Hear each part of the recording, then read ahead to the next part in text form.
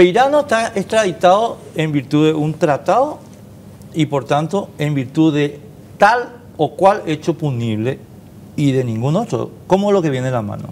Bueno, Enrique, eh, ya que tocas el tema, yo creo que este va a ser un caso que le va, a poner en la, en, la, en la vitrina internacional la mala praxis de la aplicación de la prisión preventiva en Paraguay. A José Peirano se lo extraditó en uno de los casos por un solo hecho punible, lesión de confianza. Y expresamente Uruguay dijo, no señores, por conducta conducente a la quiebra y conducta indebida en situación de crisis, no le pueden juzgar en Paraguay, no hay mérito. Y la jueza de garantías número uno le dictó prisión preventiva por esos hechos punibles que Uruguay, no autorizó la extradición. Lesión de confianza y le metió otros dos tipos penales. O sea, la jueza desconoce el tratado o cómo lo que Con su resolución desconoció el tratado. Lo hizo Garantías 1, que es la jueza Clara Ruiz Díaz, y lo hizo también Garantías 4, el juez Florentín, porque le adicionó hechos punibles que no están autorizados ser juzgados en Paraguay. Pero Florentín se fue más allá porque Florentín no tenía pedido de prisión preventiva. El Ministerio Público no le pidió prisión preventiva y él aplicó igual prisión preventiva. ¿Cómo que se dice? Eso es un derecho extrapeticio.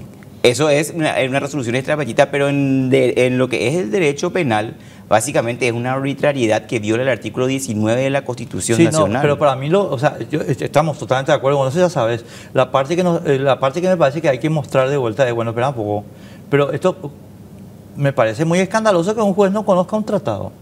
Y si en realidad puede o no conocer o conocer y violarlo. Es gravísimo. Lo cierto y concreto es que hoy Paraguay le dice a Uruguay, no me importa lo que nosotros firmamos, acabo de enviarle a tu conciudadano y acá le vamos a aplicar lo que nosotros queremos con estos jueces que aplican como nosotros decimos que tiene que ser la ley. ¿Y, voy a presentar algún recurso sobre eso? Presentamos hoy los recursos de apelación general y es más, le pasamos las resoluciones a los colegas de Uruguay que van a presentar la queja para que el Estado uruguayo dé por decaída la extradición por violación del tratado.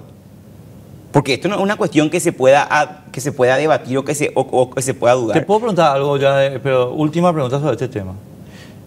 ¿Y no habrán hecho a propósito para que se dé por decaída la extradición y se le mande de vuelta libre a Peirano? Conociéndole a nuestros jueces, no. Ellos están, hoy, hoy día tenemos resoluciones judiciales que son para favorecer o para dar gusto a la hinchada. Pocos son los jueces que tienen la entereza de resolver apeados al derecho y a la correcta aplicación de las reglas constitucionales que rigen la prisión preventiva y que están reglamentadas en el Código Procesal Penal. Entonces, yo esa sospecha no tengo, yo tengo sospecha de que ellos resuelven lo que es más cómodo para ellos en ese momento y no, no, van a recibir seguramente ninguna crítica porque los únicos que vamos a criticar somos nosotros. Acá una ecuación, ¿quién me va a criticar de un lado? Una persona, una defensa. ¿Quién me puede criticar del otro lado? O una cantidad de otras personas. Entonces se dice, bueno, vamos a aplicar nomás. Total, es una prisión preventiva más que están acostumbrados a dictar.